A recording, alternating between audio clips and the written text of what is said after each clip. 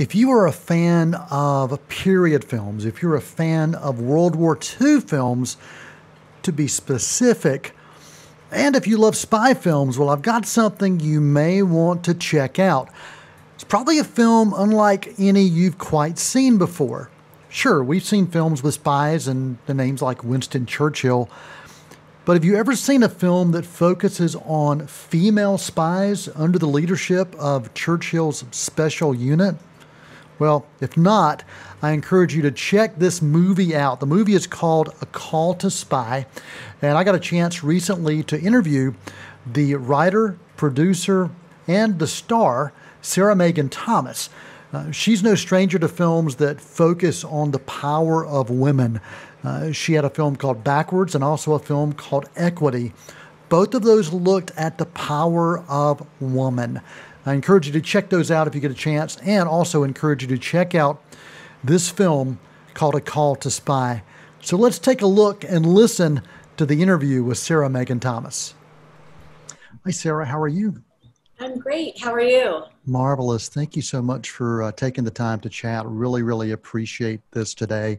Uh, I know you're busy, but wow, uh, what a film that uh, you have been a part of. I really want to hear some of your thoughts about looking at backwards, looking at equity, and maybe some of those thematic uh, elements that carry through all the way through uh, this film, A Call to a Spy, as well. Yeah, so my larger mission as a filmmaker is to tell um, these new stories that we don't know about women in kind of commercial genres. So Backwards was a sports film, Equity was the first female driven Wall Street movie, and with The Call to Spy, I knew that I wanted to do this spy film, and I knew that there were, must be so many stories we haven't seen. Um, and when I started digging, found these these three women, and, and also wanted to hire more women behind the camera, which I've done kind of with all my films to tell these female driven stories. Well, as you look at this film, it is a period piece, a World War II period piece, and those are not easy to create. Uh, I'd love, I'd love to hear some of your uh, thoughts about the research and development into bringing it to life. Sure. So, so this film took a lot longer to write, a lot than Equity or Backwards, which were fiction films, because there was just such an extensive amount of research that had to go into it and it was very important to me in the in the context of a fiction film to honor these women's lives um, and so you know i spoke to living relatives i had their spy files and was able to access all the material and then kind of filter it into what works in a two hour movie. And, and I was very blessed that everyone kind of opened their doors to talk to me because they were like, yes, we want to see this movie. Well, when you are researching history and real people, um, as you did with this, um, you come across some things that may surprise you. I'm sure. What were some of the things that surprised you the most uh, during doing the research?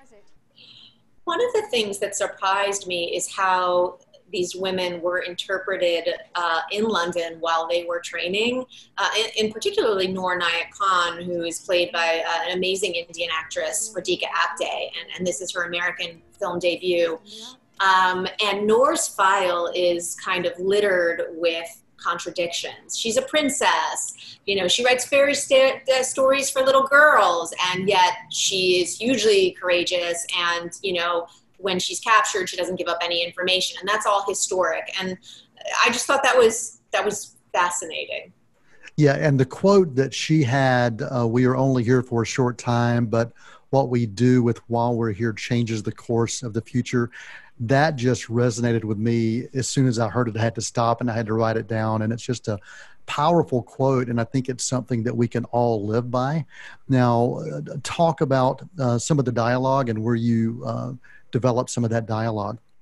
Yeah, so so 99% of the dialogue is just, you know, me writing as a screenwriter and and you know, trying to find each character's voice, which was particularly challenging with this because it was based on true stories, based on real people, and you want to have their voice, but these women did not talk about the war after the war. So you don't have audio recordings of Virginia Hall. They don't really exist. Um, but there are also certain lines, I'll give you an example. Uh, Virginia Hall wrote back to London um, when they didn't want to put her back in danger and she wanted to keep fighting. You know, it's my neck, and if there's a crick in it, I think that's my prerogative. And I, I was like, this line, even though it might sound a little archaic to a modern audience, must go in the movie because this is who she was. Yeah. And so I made sure to pepper in certain expressions. She was called Dindy, all that kind of stuff into the film so that you really had a flavor of who they really were. Well, I am really drawn to films that look at World War II. My grandfather was a veteran and was in Normandy in the Battle of the Bulge. And so, any chance I get a chance to, anytime I get a chance to revisit this history, it brings me closer to him. And so, I really want to thank you for offering a, a film that really does look at the greatest generation for a reason. And the women and men came together to fight the most challenging of life circumstances. You know, they were doing the right thing because it was the right thing to do. Absolutely. All about helping human beings and what it means to be human. So thanks for doing that. Absolutely. And, you know, it, it's exactly what you said. They did it because they thought it had to be done. And anyone you interviewed said that. They didn't do it for glory. They didn't do it for any political reason. They did it because they thought it had to be done. And I, I hope that that is a theme we can take away today from this movie. Absolutely, it does. Sarah, thanks for joining us. And any final thoughts or comments you want to share I, about this? I'd support these stories so that more of them can be made. Awesome. Thank you so much. Yeah. Again, I'd like to thank Sarah Megan Thomas for taking the time to be with us right here on Meet Me at the Movies, Cinema Scene and Elements of Madness. The film is called A Call to Spy, and if you're looking for a period World War II film that looks at things through a different lens, I encourage you to check this film out. The narrative was pretty amazing. The cinematography, the sound design, the score by Lily Rebecca McDonald, absolutely loved that as well. And I'm just drawn to period films, especially those during World War II. So, recommend this film. Check it out if you get a chance. A Call to Spy. Sarah Megan Thomas, once again, thanks for your time. Until next time, I'm Noel T. Manning II, and that is a wrap.